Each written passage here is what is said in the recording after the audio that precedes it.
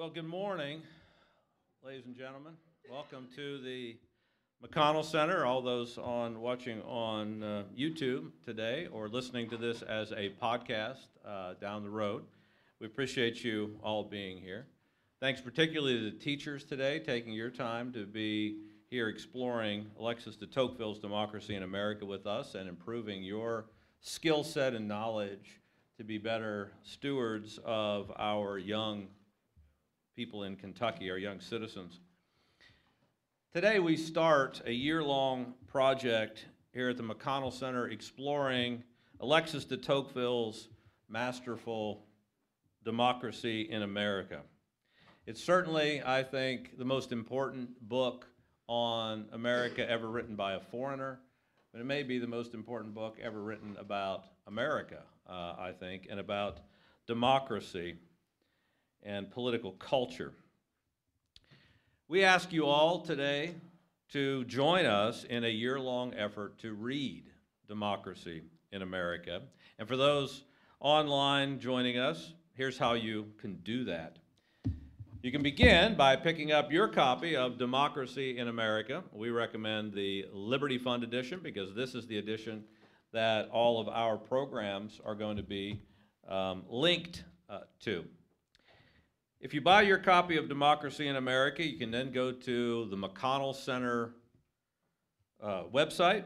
It's mcconnellcenter.org, mcconnellcenter.org, and there's a tab there that's entitled Tocqueville's America and Ours. You click that and you will find things like a reading guide to help you get through uh, a, about nine months of reading Democracy in America and links to our videos like the ones, the one that we are doing today that will be done all, all year.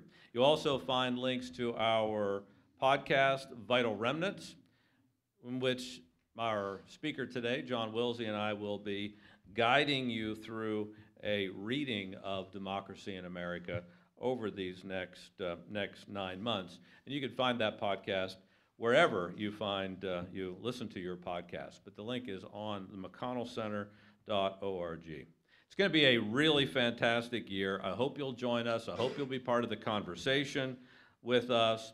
I hope maybe you'll even form reading groups. I understand uh, there is a reading group that is attached to our, um, our reading guide that um, has just started. I can't say exactly where this is, but let's say it is at a certain military school that you've probably heard of that hopefully we'll be able to announce at some point. But nonetheless, it's the beginning of, uh, of reading groups. I hope they'll be around the country uh, using our, uh, using our guide and following along with us.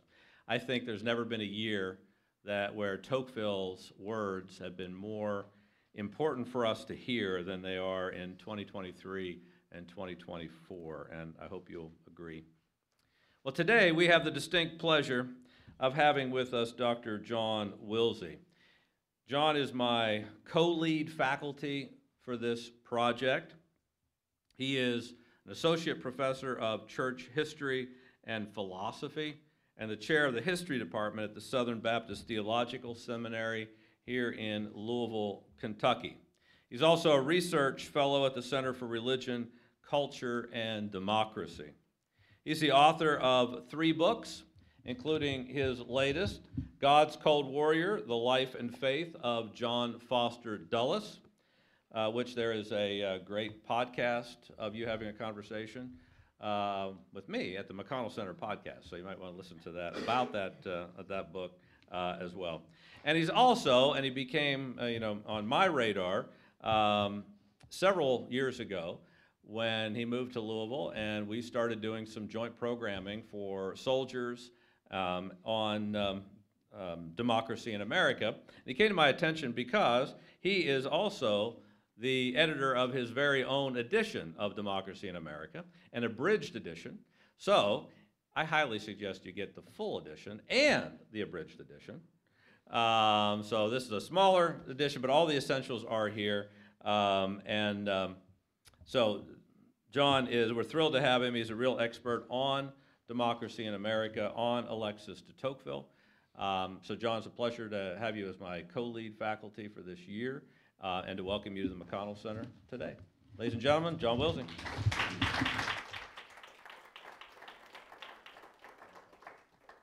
Thank you, sir. Appreciate you. well, it's great to be with you, and thank you so much, Dr. Gregg, for that very kind introduction. And thanks to the McConnell Center and the University of Louisville for uh, allowing me to be here and, and to, to be with you and talk about Tocqueville. Uh, a wonderful, a wonderful and fascinating man and subject. Uh, with, uh, with regards to democracy in America, it's, there's a strange irony at work here. And that is that um, Alexis de Tocqueville is almost universally regarded as uh, the most important uh, foreigner and, the, and, having produced the most important work on America uh, that's ever been produced. And yet, very few people have actually read Democracy in America. Uh, sometimes you hear people quoting uh, Democracy in America, and um, if, you, if you have read it and if you know the text well, uh, you know that uh, one of the most famous quotes that's thrown around is a misquote that Tocqueville never actually said America is great because she is good, and when she ceases to be good, she will cease to be great. That's, that's not a Tocqueville statement at all. But you do hear a lot of politicians, uh, especially around election time, uh, use that quote, and it's a little bit cringy, as the kids say. Uh, the title of the book suggests that it will be almost an intuitive book Democracy in America. But people often find that it is um, somewhat, uh, somewhat long. You might even have seen uh, the two volume Liberty Fund edition that you have and thought, oh my goodness, this thing is really huge. Uh, two really big texts. Um, you know, if you have, uh, if you have a, a, fishing boat or something like that, it's a good anchor. Um, if you have a heavy door that you need a doorstop for, this serves well for that. Uh, so some people are kind of intimidated by the length. Some people are intimidated by the style. Uh, it is, of course, written by a foreigner, a Frenchman, and a 19th century Frenchman at that, and um, it can also seem rather plodding. I think that that's. Uh, I think those are you know, all understandable, but um, Democracy in America is a fascinating read um, and an, an, amazingly prescient mind um, that Tocqueville had.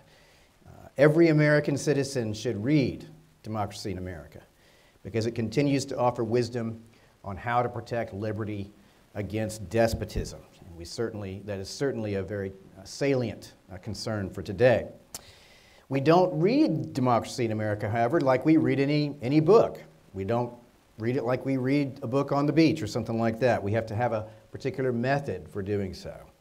So, as we read Democracy in America, we have to consider four contextual elements, and that's what I'm going to talk about today. Four contextual elements. Number one, who Tocqueville was. We have to kind of nail down who he was. Number two, why he came to America. Why did he come here? What was his, what was his angle? What was his agenda? Third, what was America like when Tocqueville came to visit? And third, how was the book received and how is it useful today? If we bear in mind the context of Tocqueville's work, we can more readily appreciate its meaning and its relevance to us. So, who, first of all, who, who was he? Who was Alexis, Alexis de Tocqueville? Well, he was born in 1805. He died in 1859. He was born into an ancient, moderately wealthy, yet aristocratic family in France. His, his family, both on his father's side and on his mother's side, suffered greatly during the French Revolution his great grandfather on his mother's side, his, his aunt on his mother's side, and, and other relatives uh, on both sides of the family were, were arrested during the Reign of Terror, were imprisoned, and were executed. His uh, great grandfather was beheaded um, after he had been forced to watch uh, that man's daughter, his, his daughter, so Tocqueville's aunt, uh, beheaded. He was forced to watch his daughter beheaded, and then he himself went to the scaffold um, a, a, very difficult time to be alive. His father and his mother were also imprisoned uh, during the Reign of Terror for about a year um, when they were just, just had been just first married. Um, they were very young. Um, late teens, early 20s when they got married and they were thrown into prison. They were released. Uh, they barely survived the experience. Uh, they were released on, on Robespierre's own execution. Uh, Tocqueville was raised in his early years by a tutor in the traditional ways of conservative, um, you know, Orthodox Catholicism. Um, but the young Alexis broke from conservative and uh, con- Orthodox Catholicism early in his life. When he was about 16, he discovered uh, the great Enlightenment thinkers in his father's ample library. Uh, thinkers like Jean Jacques Rousseau and Montesquieu and Voltaire and Pascal uh, these are four thinkers that uh, Tocqueville admired very much, read, read their works. Tocqueville never did break with a belief in God. He also had a very strong belief in divine providence. But he also held that religion uh, was uh, something that, um, well, he didn't have a, an, an, evangelical religion. Um, he uh, was sort of a nominal Catholic, and, uh, but he did believe that, that religion was indispensable to the cohesion of a civil society, especially a democracy. He entered law school uh, when he was uh, just about 22 years old, became an apprentice judge uh, at Versailles, and he met two people that would be extremely important to him in later life. One, his good friend Gustave de Beaumont, which was his travel companion and lifelong friend. They met in law school uh, in the eight, late 1820s at Versailles. Uh, Beaumont uh, came with uh, Tocqueville on the trip to the United States. Also wrote a book, wrote a book on slavery, wrote a book on American slavery when he came here, uh, while Tocqueville wrote American uh, Democracy in America. Uh, the second person that he met while he was at Versailles was his wife. he met Marie Mottley while he was in law school, and they were married in 1835. Now, why did Tocqueville come to America? That's a little bit of background on who he was. Why did he come to America? What was his angle? What was his interest? Well, Tocqueville uh, served uh, under the reign of Charles X, who was the last of the Bourbon monarchs. But in 1830, in July of 1830, Charles was deposed during the July Revolution and uh, was succeeded by Louis Philippe, who was uh, Charles's cousin. So his cousin overthrew uh, Charles. And uh, after the July Revolution, all public officials uh, were forced to take an oath of loyalty to Louis Philippe. Now, the Tocqueville family was in a little bit of a pickle. I mean, Tocqueville was in a, was in a little bit of a bind because the family had historically been supporters of the Bourbon monarchy and were supporters of the Bourbon Restoration uh, and supporters of Charles X. So to have to take a loyalty oath to Louis, uh, Louis Philippe, who had overthrown Charles X, was a little bit of a was a little bit of an awkward situation. Um, Tocqueville's career was just starting out. He was a young man. His career path was a little uncertain. And, you know, uh, who, know, who knew at the time that this wasn't going to turn into quite a violent revolution, maybe something even like the Reign of Terror. So his career was in jeopardy, but his life also may well have been in jeopardy. Tocqueville thought this over, and along with his friend Beaumont, thought this over. And um, they were both interested in America. They were both interested in prison reform. Uh, Louis Philippe was interested in prison reform. Prison reform was sort of in the air in uh, Europe and in America. And um, prison reform was undergoing some experiments. There, were, there was experimentation in prison reform in America that Tocqueville knew about. And uh, specifically, this was the idea of the penitentiary. Instead of uh, forced labor or uh, you know, torture or things of that nature for prison, uh, the penitentiary uh, to go, uh, you commit a crime, you're, you are tried and you're imprisoned and you sit in, in a cell and you think about your actions by yourself um, that whole concept of, uh, of a penitentiary uh, to encourage uh, a penitent spirit, to think and reflect on your actions. So, this is sort of what's behind uh, the, the theory of the penitentiary. So, Tocqueville and Beaumont were interested in studying this. They hatched an idea to go to America and study prisons. Uh, study the penitentiary system in, in Pennsylvania and in New York, especially. But they were also interested in American political institutions and in democracy.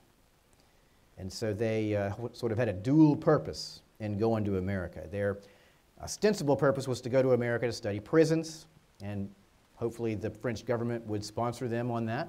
If they were able to go and do that, then they would get out of the watchful gaze of the government and of the regime. They would be able to take some of the heat off of them, be able to sign the loyalty oath and not, not face any, any serious repercussions at home. And the plan was to spend two years uh, in America, traveling through. And then they were going to write a book. They were going to write a book on prisons in America. Um, and that way they would uh, be able to escape those pressures at home. And Tocqueville and Beaumont were successful in convincing the French government to let them go. They, they secured official commissions from the Ministry of the Interior in February of 1831, and they departed France on April the 2nd of 1831. But Tocqueville and Beaumont, while they were interested in prison reform, they were really interested in America. They were really interested in Republican institutions, democracy uh, in, in America. They were interested in American culture. Um, America was a new democracy, a new experiment, and the whole world was talking about America. They were fascinated with it, and so they um, both were really keen on looking into American culture. American political culture especially. They wanted to identify lessons in America that maybe France could learn. After all, France had been through revolutions, they had been through a dictatorship under Napoleon, they just experienced another revolution in July. America had been through a revolution. So perhaps there will be some lessons that American democracy could offer to the French. When Tocqueville wrote Democracy in America, his audience is primarily a French one. It's not an American one, it's not, a, not an English speaking audience primarily, it's a primarily a French one. And Tocqueville writes as an aristocratic outsider looking in to American Republican culture. When you read Democracy in America, you'll see that Tocqueville is not an uncritical admirer of America. He's not an uncritical admirer of democracy. He's very suspicious of democracy. But he did believe that democracy was providentially supplanting aristocracy. Over the course of the centuries, traced back all the way back to the Middle Ages, in something of a world movement that was providential. It was even being directed by God Himself. And he wanted to go to America to see if he could find in America, uh, the way he put it, he said, means of rendering it profitable to mankind. That's what is on his mind when he writes his book. Now, third, what, what was America like when he came? Well, Andrew Jackson was finishing his first term.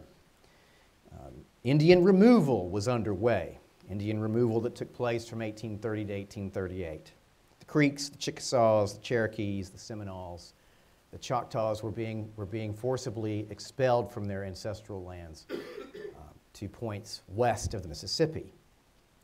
In 1831, in the summer of 1831, the Nat Turner Rebellion, the largest slave rebellion uh, on North American, um, on the North American mainland, took place in Virginia. The nullification, uh, the nullification uh, crisis was uh, underway. Uh, between 1828 1833, South Carolina very, very close, uh, came very close to seceding from the Union over the issue of the tariff.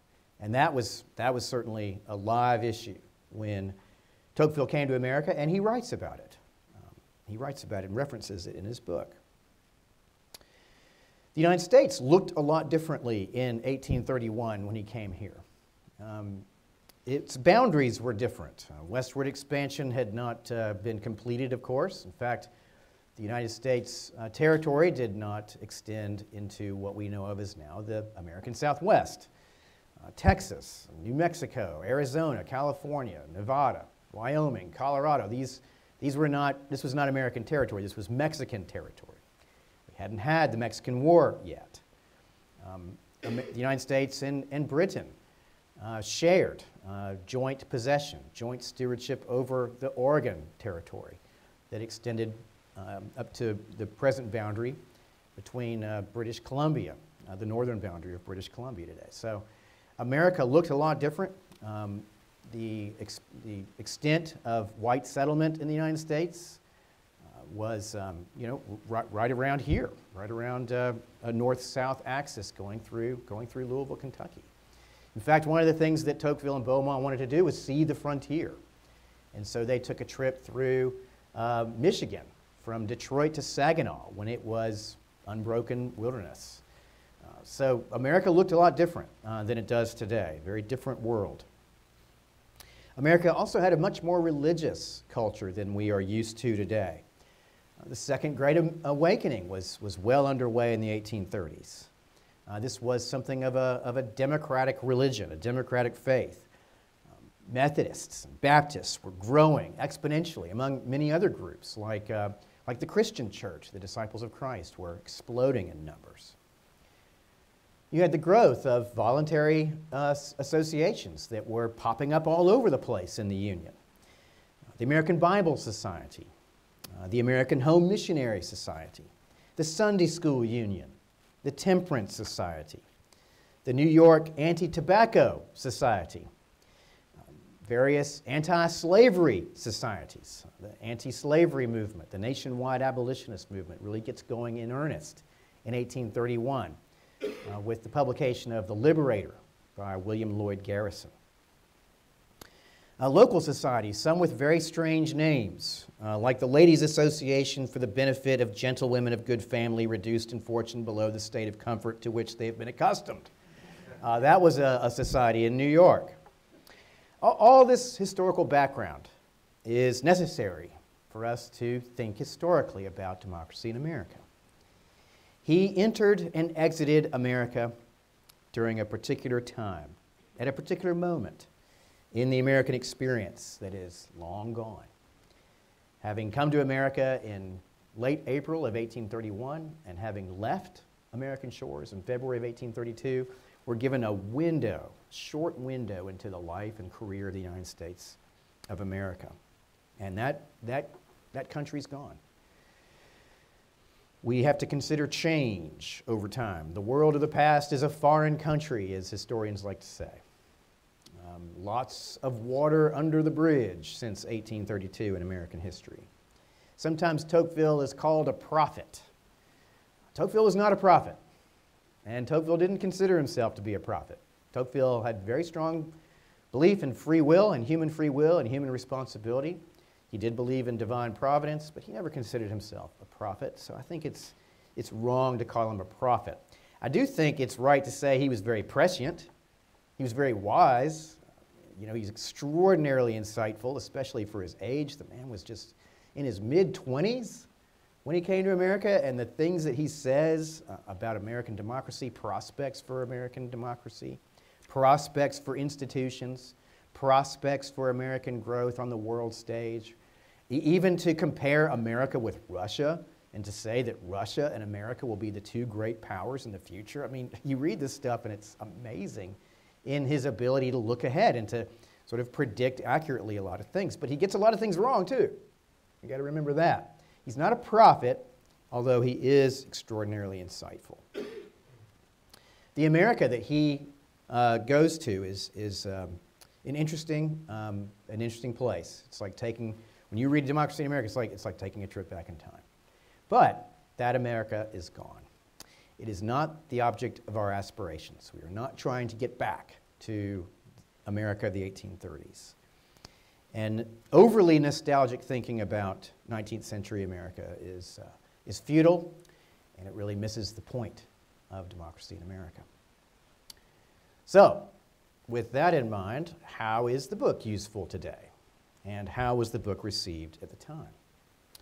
Well, Volume 1 was written and published in 1835 and Volume 2 was published five years later in 1840. Tocqueville, of course, is writing against his own historical background the French Revolution, the Reign of Terror, uh, the rise and fall of Napoleon, the rise and fall of the Bourbon monarchy under the Restoration, the July Revolution, the monarchy of Louis Philippe, which was itself overturned in 1848. But the common denominator the common denominator in all this is political and social instability. France is not a stable political system since 1789. With the 1789 revolution, you have precedents that are set.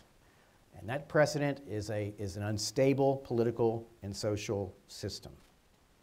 He was looking for lessons from America. He talks about this in the introduction on how Fr- the French could experience, uh, excuse me, how the Americans could experience uh, revolution and initiate a republican form of democracy, and yet avoid the instability that his own country had suffered and continued to suffer. So, what is it that, what is it that the Americans have that the French can, can maybe acquire for themselves so that we can, you know, establish political and social stability in the face of, of the instability that we have experienced since 1789?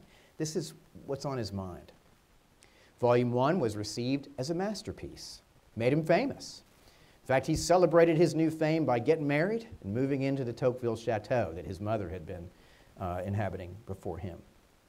It established him as a political and social intellectual, and he was recognized as a brilliant thinker in England, in America, and in France. Uh, when he wrote Volume 2, it was not received as enthusiastically as Volume 1. Uh, nevertheless, the combined volumes were seen then and continue to be seen now as the most far reaching and insightful work on American institutions and culture. Now, let's talk about some themes in, in the book. Um, while we want to think historically about democracy in America and talk about context, there's much, much to learn from the content of the book. As I said earlier, every American should read this book, but keeping in mind the things we mentioned about historical context and how he uses his terms. The terms that he uses are terms that are bandied about still quite commonly, but he means things that are a little bit different th- then than, he, than, than often how the culture takes the terms. Democracy in America is an exploration of how to preserve liberty against despotism. That's what the book is about. How to preserve liberty against despotism. And there are three key terms uh, that we're going to encounter as we read uh, this, this great book equality, democracy, and liberty. These are the three basic terms uh, that we have to really know where Tocqueville is coming from if we're going to understand and appreciate this book. First, equality. Now, we use equality uh, today, we use it all the time. Certainly, equality is at the very heart of the American project going all the way back to the Declaration of Independence. What did Tocqueville mean when he talked about equality? Well, he meant mobility, social mobility, economic mobility, political mobility, and even physical and geographical mobility.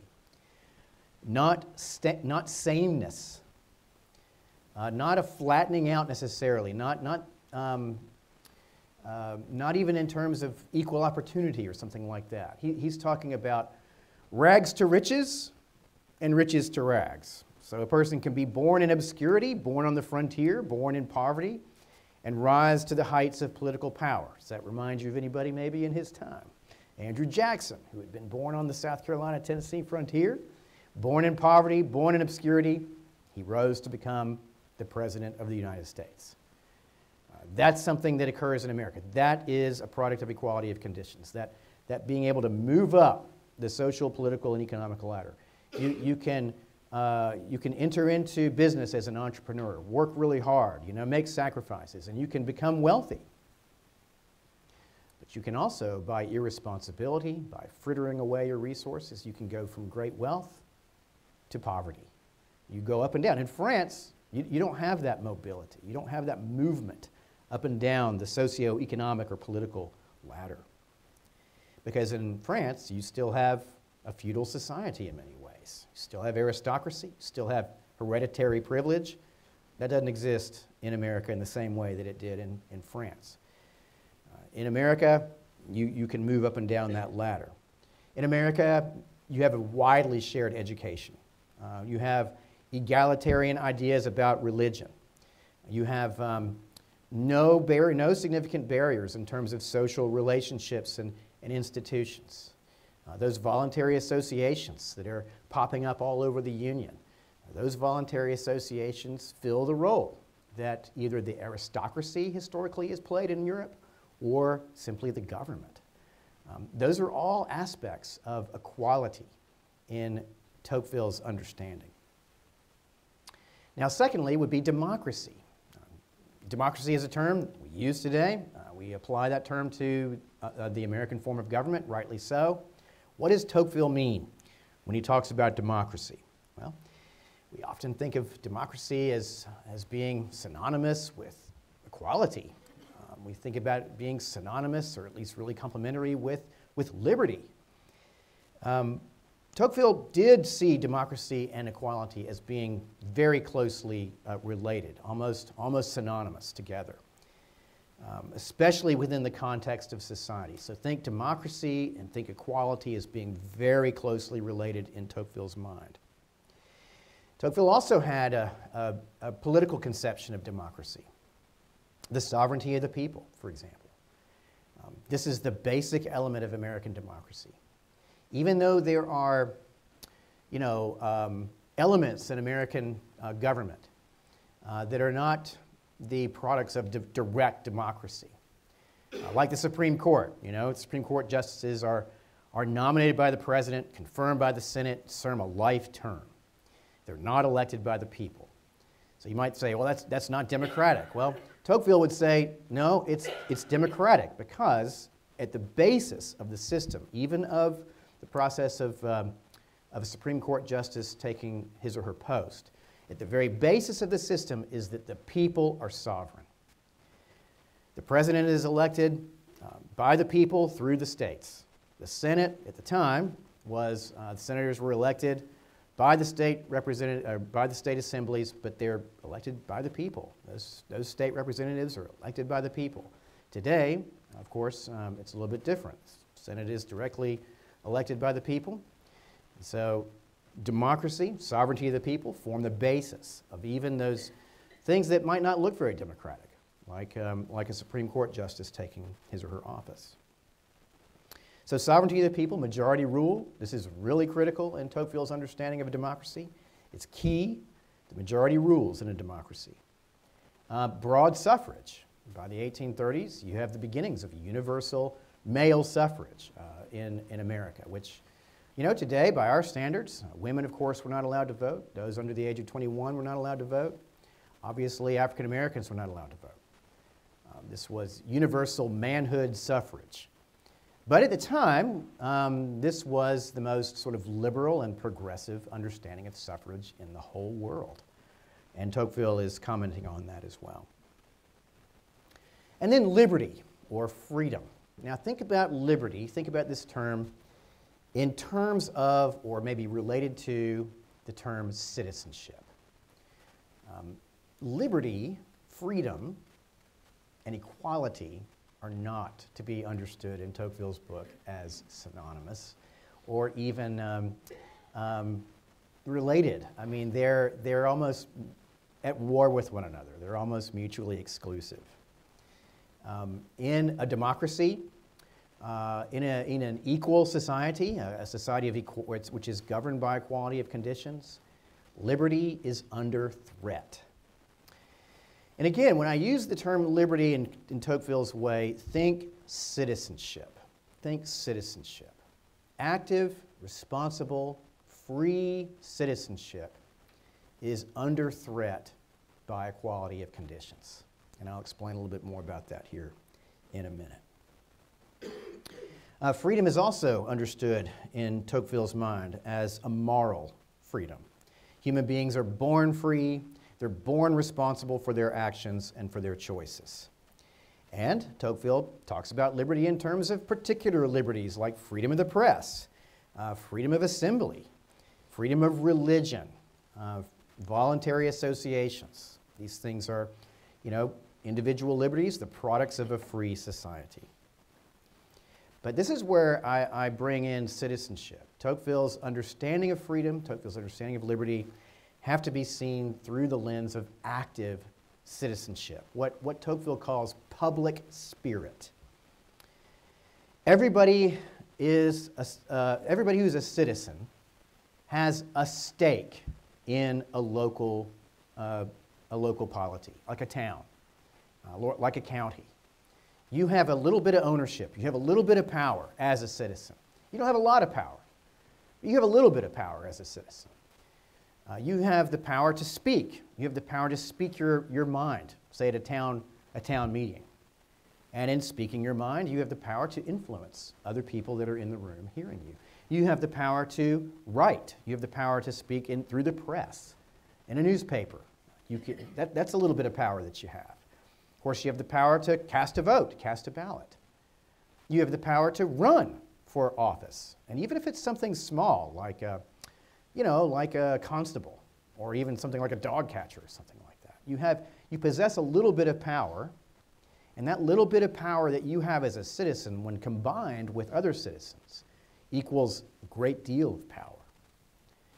So, citizenship is understood this way. It's understood as having a little bit of power and using that power in a responsible uh, way uh, for the benefit of yourself as an individual, but also for the benefit of your locality, for the, for the common good.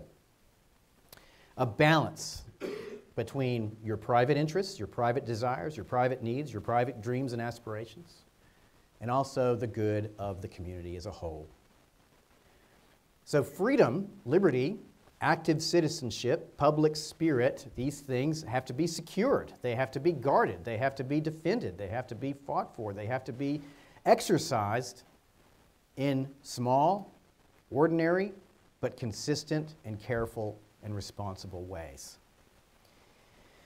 So democracy and equality are often at odds to, with, with each other. People, Tocqueville says, you'll see this in the book when you read, people will trade their liberty for equality. They will sacrifice liberty for equality, but they will not sacrifice equality for liberty. Uh, Tocqueville will say that equality yields instant gratification, while liberty's benefits are hard won, they take time, they take patience to realize, and they can be lost.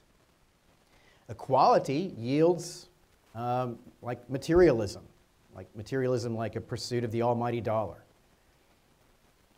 And that can yield selfishness, which leads to centralization in the government, which then results in democratic despotism. So, in, in other words, as long as the government will, will, will pr- protect our ability to make, to make money, we'll, we'll be glad to yield some of our liberties in order to enrich ourselves materially. Uh, we might have, a, we might have a, a, a, government that takes care of all of, our, all of our wants and needs, you know, sort of like a nanny state. And we'll, we'll be okay with that as long as we can have our creature comforts. That's, that's what Tocqueville is really saying about that that um, uh, disconnect between equality and, and freedom. So, how can liberty be preserved in a democracy? Well, there's three things uh, that you'll see uh, aspects of citizenship uh, that Tocqueville talks about. Public spirit being one of them, voluntary associations being another one, and then third, the formation of what he calls the mores, or the customs, the manners of the people. And let me just say, real briefly, a few things about that, and then we can be done here. Public spirit. Um, he talks about this in the context of his visiting New England, the townships of Connecticut, especially. He was very impressed by. Freest, the freest people in America, he said, live in New England, live in the towns of New England. Uh, they exhibit, uh, you know, a public spirit in that each citizen has takes ownership of a little bit of a piece of the township. And each person has a really strong attachment to their town, almost like a, a patriotic love for the town.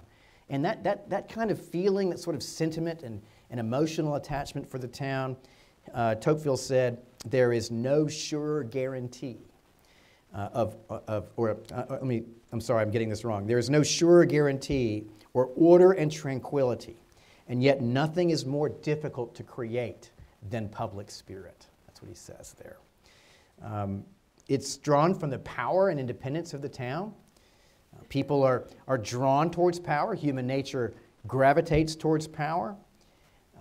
And New England towns have a little bit of power and have a little bit of independence. You know, and a citizen um, is different than a subject uh, in an aristocratic society in that subjects don't have any power. They don't have a stake or they don't have any ownership over the town.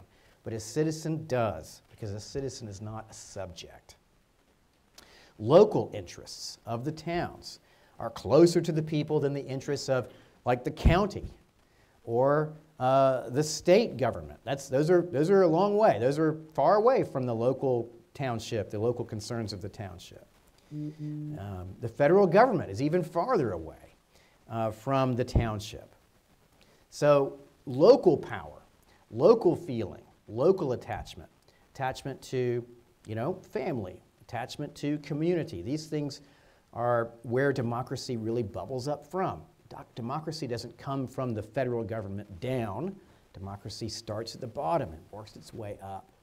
In fact, he will say that the township and the, lo- the local polity, the local community, is the school of democracy. It's where we learn as citizens how to be free and how to be responsible and how to cultivate that public spirit.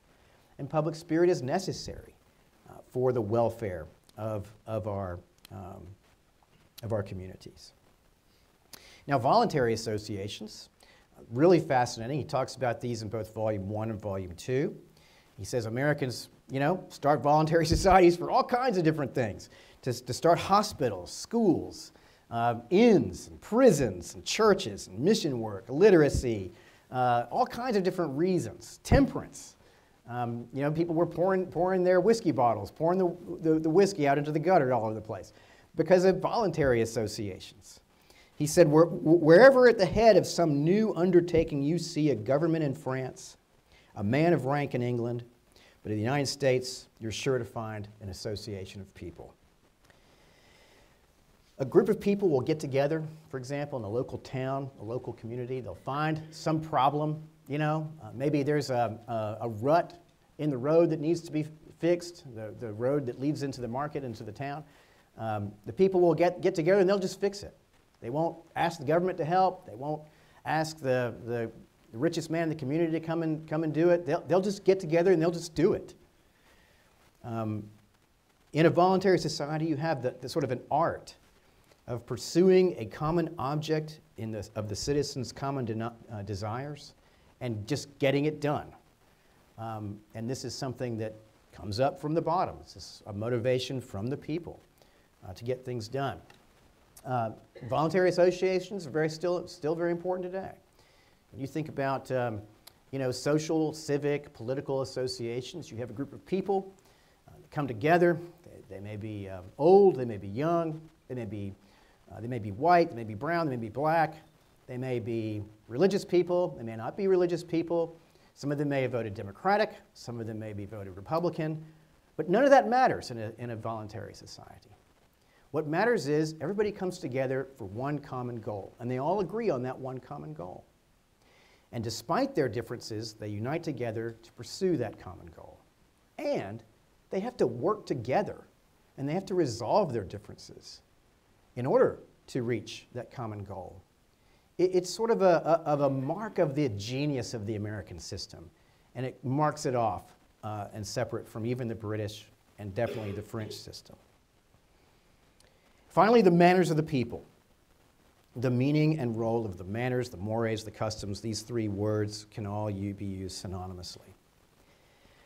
In America, you'll see that Tocqueville will say this at the end of volume one. You have, you have laws you know, the laws of the, of the land. But where do the laws come from? They come from the manners, they come from the customs of the people. And the manners, the customs of the people are more powerful than even the laws. Because the customs and the manners, those things don't change on a dime. Whereas laws do change on a dime. And the laws reflect the manners and the customs of the people. Tocqueville calls the manners, he calls them habits of the heart. He says that they represent the whole moral and intellectual character of the people. And the mores, Tocqueville observed, are influenced mostly by religion. Uh, Christian morality, uh, which um, are, of course, communicated from the pulpits of the country. And the manners are key to the preservation of, of a free democracy uh, in America, key to the protection of democracy in America against uh, the democratic despotism and the despotic tendencies that are inherent in an equal society. He took manners very seriously. Let me read you a brief quote. So seriously do I insist upon this head that if I have hitherto failed in making the reader feel the important influence of the practical experience, the habits, the opinions, in short, the customs of the Americans upon the maintenance of their institutions, I have failed in the principal aspect of my work. So, in other words, if, if Tocqueville hasn't really impressed upon us the importance of the manners, the customs, the mores, then Tocqueville, by his own admission, says, I've failed. I've failed in the, in the entire project. In the formation of right manners, you have the key to the preservation of liberty. Morals, virtue, these things are very important, but virtue not in the same sense as, say, the founders thought about virtue.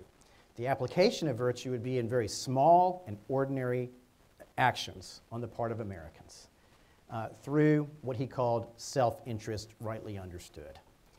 People uh, in America will, will, will do things that are virtuous, they'll do things that are, uh, you know, on behalf of their fellow man, they'll make small sacrifices uh, for the good of the society because it gets them something too. Uh, think, think about our, ourselves. We, we might give to charity uh, because we, we know at the end of the year we'll, we'll get a tax write off on, on what we give. So that's like a, a, a present day expression of self interest, rightly understood. Um, taking, taking sort of selfish elements in human nature and directing them to a productive end, productive purpose. To conclude, and we'll uh, break up and go into our seminars here in a minute, but to conclude, Tocqueville's analysis of the American and uh, the political, social structure of America in the 1830s still instructive today. Even though it's a historical artifact, even though when we read Democracy in America, we are looking into a window of time, uh, of a world that's gone by, it's still useful to us today because so much about human nature stays the same. Tocqueville's work is uh, full of wisdom on many, many topics, such as the role of religion, education, the family, race prejudice, which he spends the longest chapter uh, in both volumes. He talks about race, uh, which, is, which is really amazing. Uh, interest rightly understood, you know, public spirit, democratic despotism, tyranny of the majority, all these things are still very applicable for us today. And he offers sort of a program to protect liberty against democratic despotism. America 2023, very different than the America of 1831. But America faces dangers. American democracy faces dangers that Tocqueville warned against, even still. This doesn't make him a prophet. Tocqueville's not a prophet. But it does mean that Tocqueville is extremely important for us today. Um, we can recall, you know, Tocqueville had a very high view of human freedom and human responsibility. He rejected historical inevitabilities. But Tocqueville's prescience, Tocqueville's wisdom, Tocqueville's insights into American institutions and American culture make this writing uh, uniquely relevant to us today. Through watchfulness, wisdom, the cultivation of public spirit, we can ourselves arrest the drift towards democratic despotism as Tocqueville is our instructor. Well, thank you very much. I look forward to our further discussions.